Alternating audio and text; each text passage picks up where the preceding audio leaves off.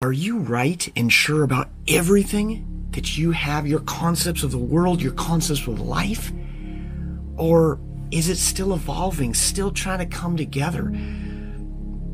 A lot of people run to science. They say, well, follow the science. Yet, science doesn't lie, but scientists do. People, people have to come up with and understand what they're looking at. And an interesting thing is, sometimes we have to have a change of mind that maybe I'm messed up. Maybe I've made a mistake in how I'm coming at life. Check out this verse here. This is in Acts, this is in the Bible, Acts chapter 20, verse 21. Paul taught, testifying to Jews and also to Greeks, repentance towards God and faith toward our Lord Jesus Christ. Truly, to repent is to have a change of mind. See, to the people he was talking to, especially the Jews, they literally had 613 laws that they followed.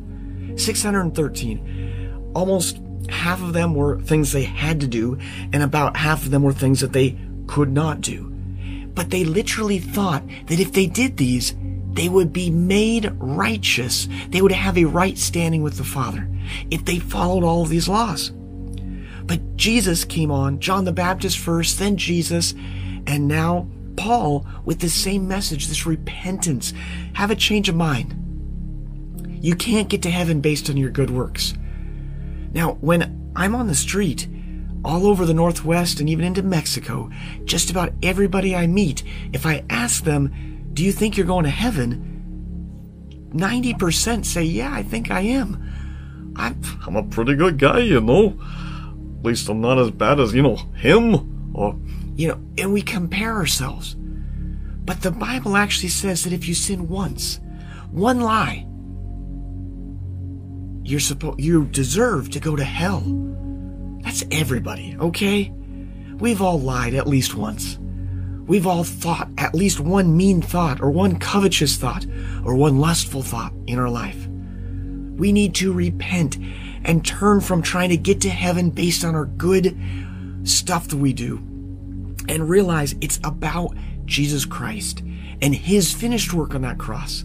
Cry out to him. He has finished it all.